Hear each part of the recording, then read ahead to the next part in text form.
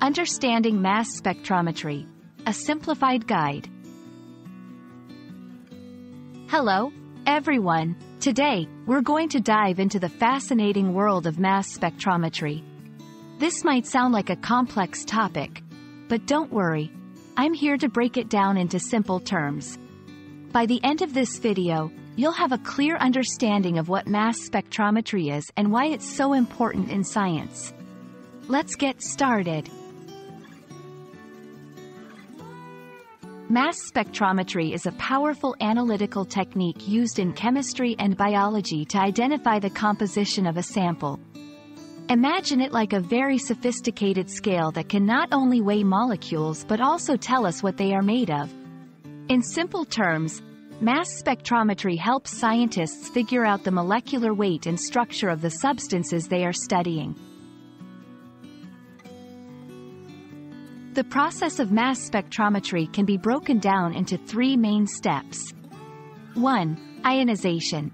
The sample is turned into ions, which are charged particles. This is like preparing the molecules for a journey. 2.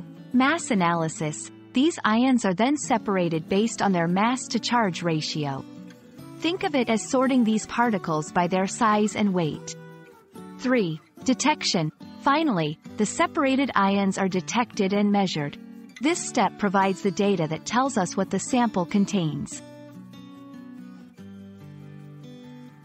Mass spectrometry has a wide range of applications.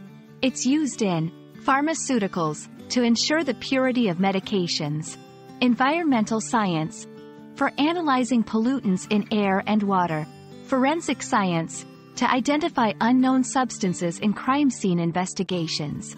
Biochemistry, in studying proteins and other biomolecules.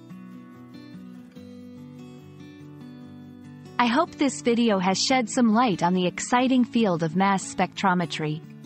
Remember, it's a technique that helps scientists identify and understand the very building blocks of substances. Thanks for watching, and I hope you found this explanation helpful. Stay curious, and see you in the next video.